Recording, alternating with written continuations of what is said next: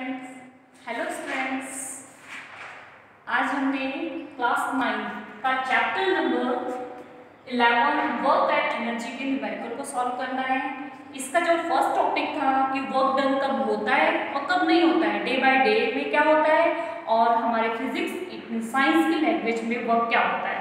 ये टॉपिक मैंने समझा दिया है। अगर आपने नहीं देखा हो तो आपको ज़रूर जाके देखो ताकि आप पहले आपका वो कॉन्सेप्ट क्लियर हो, ठीक है? तो यहाँ पर हम न्यूमेरिकल है, मैं दो न्यूमेरिकल आज आपको सॉल्व करके बता रही हूँ। साइड बाय साइड में आपको टेक्स्ट बुक के सारी एक्सरसाइज सॉल्व करके बताते रहेंगे ओके तो स्टार्ट करते हैं फ़र्स्ट हमारी एग्जांपल है a force of five newton is acting on an object जो फोर्स है हमारा, कितनी न्यूटन का है? फाइव न्यूटन का है, ठीक है? आपको पता है ना फोर्स की यूनिट क्या होती है? न्यूटन ठीक है? किसी ऑब्जेक्ट पर फोर्स लगा है the object is displaced through two in the direction of the force force जिस डायरेक्शन में लगा है, वहाँ से जो ऑब्जेक्ट है, वो टू मीटर क्या हुई है? डिस्प्लेस्ड हुई है। आगे की तरफ़ गई हुई है। अब आपको बताना है, उसका वर्क डन कितना हुआ है? ठीक है? यहाँ पे एक फिगर दिया हुआ है आपको एग्जांपल में। इस फिगर में आप देखो, ये हमारा ऑब्जेक्ट है।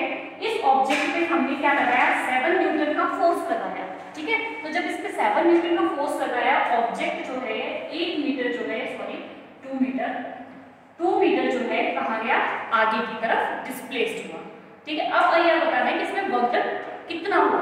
तो आपको पता है, पहले तो हमें जो जो गिवन है, हम लिख लेते हमारे पास फोर्स फोर्स कितना दिया हुआ है? सेवन न्यूटन ठीक है? डिस्प्लेसमेंट को फोर्स को हम किसे डिनोट करते हैं? एफ़ से, ठीक है? डिस्प्लेसमेंट को किसे डिनोट करते हैं? एस इज़ इक्वल टू हमारे पास कितना दिया हुआ है? टू मीटर हमें क्या बताना है? वर्क डन निकालना है। ठीक है? तो वर्क का फॉर्मूला क्या होता है ये भी पता होना चाहिए W is equal to F into S अगर आपने टॉपिक पढ़ा होगा तो आपको पता होगा कि वर्क किसके इज़ इक्वल होता है? फोर्स और डिस्प्लेसमेंट के प्रोडक्ट के इक्वल होता है, ठीक है? तो अब यहाँ पर हम वैल्यू लिख देते हैं फोर्स हमारे पास कितना है? सेवन न्यूटन एंड डिस्प्लेसमेंट हमारे पास क्या है? टू मीटर ये कितना हो गया? सेवन टू ज़ा फोर्टीन न्यूटन मीटर ठीक है? या हम लिख सकते हैं W is equal to fourteen joule ठीक है? जो ये जूल होता है ये क्या होती है? वर्क की यूनिट होती है। तो हमारा टोटल वर्क इसमें कितना हुआ है? फोर्टीन जूल ठीक है? आई होप आपको ये अच्छे से समझ आ गया। बहुत इजी बहुत ही सिंपल बस टॉपिक क्लियर होना चाहिए। अब हम नेक्स्ट करते हैं जो आपकी एक, जो है एक्सरसाइज में दिया हुआ है फ़र्स्ट क्वेश्चन ठीक है? तो आपका ये फ़र्स्ट क्वेश्चन है बुक में 148 पर फ़र्स्ट क्वेश्चन है a force of 7 newton acting on an object एक फोर्स है 7 न्यूटन जो है, किसी ऑब्जेक्ट पर एक्ट कर रहा है, ठीक है? द डिस्प्लेसमेंट इज़ 8 मीटर अब इसकी डिस्प्लेसमेंट जो है 8 मीटर है। डायरेक्शन में, ठीक है? किसकी डायरेक्शन में? फोर्स की डायरेक्शन में। What is the work done work done कितना हुआ? सेम एज ठीक है?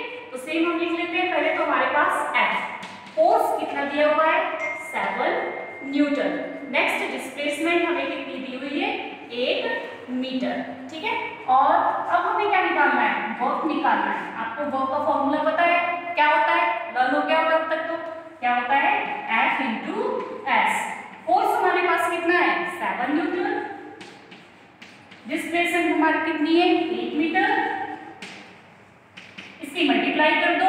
एट सेवन सा या सेवन एट सा फिफ्टी सिक्स न्यूटन मीटर। या फिर हम क्या लिख सकते हैं work is equal to fifty six joule ये हमारा हो गया न्यूमेरिकल ये बहुत ही इजी था।